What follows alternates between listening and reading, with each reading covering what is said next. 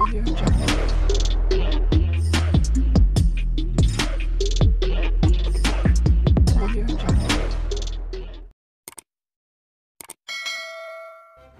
kasih kerana memilih channel ini.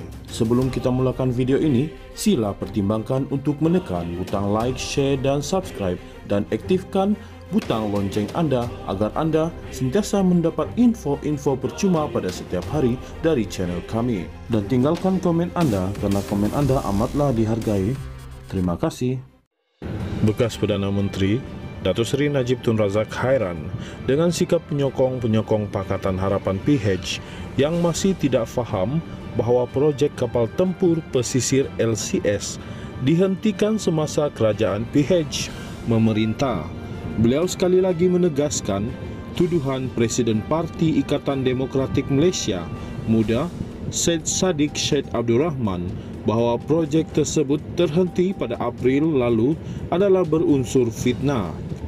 Jelas Najib, perkara tersebut telah diakui oleh bekas Menteri Pertahanan Muhammad Sabu dan bekas timbalannya Liu Chintong kerana mereka berdua pernah merasmikan dan meninjau projek tersebut. Benda simpel pun tak faham atau sengaja nak tipu orang, katanya dalam hantaran Facebook miliknya hari ini.